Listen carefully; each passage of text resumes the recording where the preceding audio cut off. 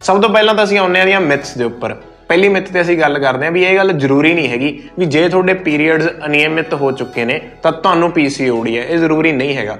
ਹੋ ਸਕਦਾ job change ਕਰਨ ਕਰਕੇ ਸਟ्रेस ਵਧਣ ਕਰਕੇ, ਕੋਈ ਇੱਕ ਨਵੀਂ ਐਕਸਰਸਾਈਜ਼ ਕਰਨ ਕਰਕੇ ਡਾਈਟ ਚੇਂਜ ਕਰਨ ਕਰਕੇ, ਹੋ ਸਕਦਾ ਇੱਕ ਅੱਧਾ ਮਹੀਨਾ ਜਿਹੜੇ ਤੁਹਾਡੇ ਪੀਰੀਅਡਸ ਉਹ ਮਿਸ ਹੋ ਜਾਣ। ਪਰ ਜੇ ਲਗਾਤਾਰ ਇਹ ਮਿਸ ਹੋ ਰਿਹਾ, ਤਾਂ ਫਿਰ ਤੁਹਾਨੂੰ ਇੱਕ ਚੈੱਕਅਪ ਜ਼ਰੂਰ ਕਰਾਉਣਾ ਚਾਹੀਦਾ। ਸੋ ਮੈਂ ਉਹੀ ਪਹਿਲਾਂ ਦੱਸਿਆ ਸੀ, ਜਿਵੇਂ ਤਿੰਨਾਂ ਦੇ ਵਿੱਚੋਂ ਦੋ ਲੱਛਣ ਘੱਟੋ ਘੱਟ ਹੋਣੇ ਚਾਹੀਦੇ ਫਿਰ ਹੀ ਅਸੀਂ ਕਹਿ ਸਕਦੇ ਹਾਂ ਵੀ ਪੀਸੀਓਡੀ ਹੈਗਾ। ਤੇ ਇਹ ਜਿਹੜਾ ਹੈਗਾ ਕਿਸੇ ਡਾਕਟਰ ਕੋਲੇ ਪ੍ਰੋਪਰ ਚੰਗੀ ਤਰ੍ਹਾਂ ਜਾਂਚ ਕਰਵਾਉਣ ਤੋਂ ਬਾਅਦ ਹੀ ਪਤਾ ਲਾਇਆ ਜਾ ਸਕਦਾ। ਦੂਸਰੀ ਗੱਲ, ਕਈਆਂ ਨੂੰ ਇਹ ਬਹੁਤ ਵੱਡਾ ਭੁਲੇਖਾ ਹੁੰਦਾ ਵੀ ਸਾਨੂੰ ਪੀਸੀਓਡੀ ਹੈ, ਇਸ ਕਰਕੇ ਸਾਡਾ weight ਵਧਿਆ। ਗੱਲ ਉਲਟੀ ਹੈ, ਤੁਹਾਡਾ weight ਪਹਿਲਾਂ ਵਧਿਆ ਕਿਉਂਕਿ ਖੁਰਾਕ ਦੇ ਵਿੱਚ ਗੜਬੜ ਹੈਗੀ ਆ।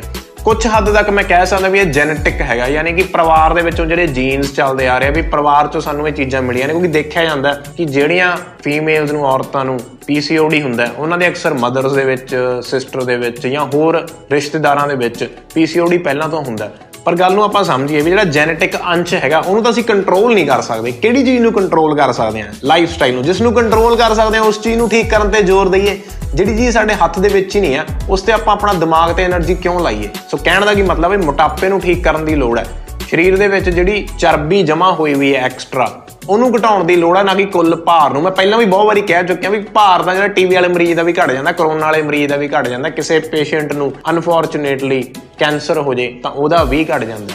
ਸੋ ਕਹਿਣ ਦਾ ਕੀ ਮਤਲਬ ਆ? ਵੀ ਅਸੀਂ ਆਪਦਾ ਚਰਬੀ ਘਟਾਉਣੀ ਹੈ ਸਰੀਰ ਦੇ ਵਿੱਚੋਂ, ਆਪਦਾ ਭਾਰ ਤਾਂ ਹੌਲੀ ਹੌਲੀ ਆਪਣੇ ਆਪ ਹੀ ਘਟ ਜਾਣਾ। ਇਸ ਗੱਲ ਨੂੰ ਸਮਝਣ ਦੀ ਲੋੜ ਹੈ ਹੁਣ ਅਸੀਂ ਆਉਂਦੇ ਹਾਂ ਅਗਲੇ ਪੁਆਇੰਟ ਤੇ। ਸਾਡੇ ਮਾਰਕੀਟ ਦੇ ਵਿੱਚ ਬੈਠੇ ਬਹੁਤ ਸਾਰੇ ਫਰਜ਼ੀ ਖੁਰਾਕ ਉਸਤਾਦ ਈਵਨ ਮੈਂ ਕਹੂੰਗਾ ਵੀ ਮੈਡੀਕਲ ਫੀਲਡ ਦੇ ਨਾਲ ਜੁੜੇ ਲੋਕ ਵੀ ਜਿਹੜੇ ਹੈਗੇ ਆ, ਉਹ ਆਪਦੇ ਕਲਾਇੰਟਸ ਨੂੰ ਰეკਮੈਂਡ ਕਰਦੇ ਆ ਵੀ ਜੀ ਸੋਇਆ ਛੱਡ ਦਿਓ ਜੇ ਪੀਸੀਓਡੀ ਠੀਕ ਕਰਨਾ। ਦੂਜੇ ਕਹਿੰਦੇ ਆ ਵੀ ਡੇਰੀ ਛੱਡ ਦਿਓ। ਡੇਰੀ ਮਤਲਬ ਦੁੱਧ ਤੇ ਦੁੱਧ ਤੋਂ ਬਣੇ ਹੋਏ ਪ੍ਰੋਡਕਟਸ ਤੀਸਰੇ ਕਹਿਣਗੇ ਜੀ ਗਲੂਟਨ ਛੱਡ ਦਿਓ। ਗਲੂਟਨ ਕੀ ਹੁੰਦਾ? ਕਣਕ ਦੇ ਵਿੱਚ ਗਲੂਟਨ ਹੁੰਦਾ ਵੀ ਕਣਕ ਛੱਡ ਦਿਓ। ਤੇ ਚੌਥੇ ਜਿਹੜੇ ਹੈਗੇ ਆ, ਉਹ ਕਹਿਣਗੇ ਜੀ, ਤੁਸੀਂ ਐਂ ਕਰੋ ਆਰਗੇਨਿਕ ਫੂਡ ਖਾਣਾ ਸ਼ੁਰੂ ਕਰੋ, ਫਿਰ ਤੁਹਾਡਾ ਜਿਹੜਾ ਹੈਗਾ ਇਹ ਪੀਸੀਓਡੀ ਠੀਕ ਹੋਊਗਾ। ਪੰਜਵੇਂ ਜਿਹੜੇ ਹੈਗੇ, ਉਹ ਕਹਿਣਗੇ ਜੀ ਕੀਟੋ ਡਾਈਟ ਕਰੋ ਲੋ ਕਾਰਬੋਹਾਈਡਰੇਟ ਡਾਈਟ ਕਰੋ, ਲੋ, ਜਾਂ ਫਿਰ ਹੋਰ ਵੀ ਹੈਗੇ ਜਿਹੜੇ ਕਹਿਣਗੇ ਵੀ ਲੋ ਫੈਟ ਡਾਈਟ ਕਰੋ। ਜਾਂ ਫਿਰ ਇਸ ਤੋਂ ਅੱਗੇ ਉਹ ਵੀ ਹੈਗੇ ਜਿਹੜੇ ਕਹਿੰਦੇ ਜੀ, ਤੁਸੀਂ ਹੁਣ ਅੱਜ ਤੋਂ ਬਾਅਦ ਜ਼ਿੰਦਗੀ ਦੇ ਵਿੱਚ ਕਦੇ ਵੀ ਫਾਸਟ ਫੂਡ 버ਗਰ ਪੀਜ਼ਾ ਕੋਲਡ ਡਰਿੰਕ ਕੁਝ ਵੀ ਇਦਾਂ ਦਾ ਨਹੀਂ ਖਾ ਸਕਦੇ, ਉਸ ਤੇ ਬਿਲਕੁਲ ਮਨਾਹੀ ਹੈਗੀ ਆ। ਤੇ ਕੁਝ ਤਾਂ ਇਹੋ ਜਿਹੇ ਹੈਗੇ ਜਿਹੜਾ ਕਹਿੰਦੇ ਵੀ ਇਹ ਸਾਰੀਆਂ ਚੀਜ਼ਾਂ ਹੀ ਛੱਡ ਦਿਓ ਮੈਂ ਪੁੱਛਦਾ ਹੁੰਦਾ ਜੀ, ਸਾਰੀਆਂ ਚੀਜ਼ਾਂ ਛੱਡਤੀਆਂ ਪਰ ਖਾਣਾ ਕੀ ਆ? ਬੰਦੇ ਨੇ ਹਵਾ ਖਾਣੀ ਹੈ ਮਤਲਬ ਤੁਸੀਂ ਹਵਾ ਖਵਾਉਣਾ ਚਾਹੁੰਦੇ ਹੋ, ਬੰਦੇ ਨੂੰ ਪਾਣੀ ਤੇ ਜਿੰਦਾ ਰੱਖਣਾ ਚਾਹੁੰਦੇ ਹੈਗੇ ਹੋ। ਮਤਲਬ ਉਹਦੇ ਨਾਲ ਸਰੀਰ ਦੇ ਵਿੱਚ ਕਮਜ਼ੋਰੀ ਆਏਗੀ ਪੀਸੀਓਡੀ ਠੀਕ ਨਹੀਂ ਹੋਣ ਵਾਲਾ। ਸੋ ਕਹਿਣ ਦਾ ਕੀ ਮਤਲਬ ਹੈ ਵੀ ਇਹ ਸਾਰੀਆਂ ਜਿਹੜੀਆਂ ਗੱਲਾਂ ਨੇ, ਮਿਥਕ ਨੇ,